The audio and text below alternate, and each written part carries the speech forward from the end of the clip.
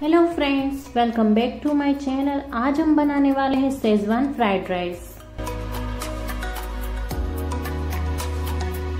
schezwan fried rice बनाने के लिए मैंने यहाँ पर कढ़ाई में ऑयल ले लिया है।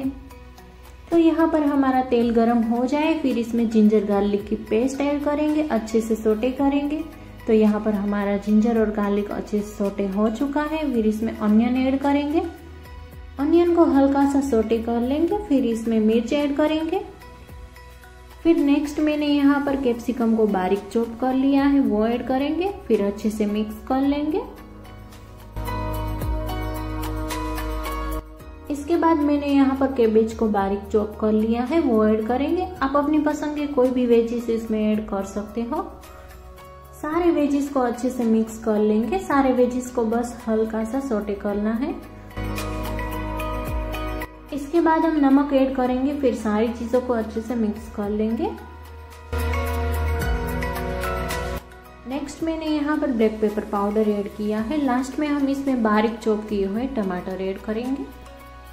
तो यहाँ पर मैंने टमाटर ऐड कर दिए हैं। अब सारी चीज़ों को अच्छे से मिक्स कर लेंगे। फिर इसमें एक चम्मच सोया सॉस और एक चम्मच टोमेटो केचप ऐड करेंगे।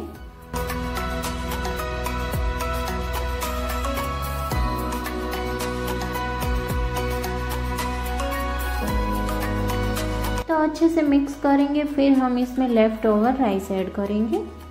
इसके बाद हम स्वाद के अनुसार नमक ऐड करेंगे, फिर लास्ट में हम इसमें हमारा मेन इंग्रेडिएंट ऐड करेंगे, जो है सेजवान चटनी। तो यहाँ पर मैंने एक चम्मच सेजवान चटनी ऐड करी है।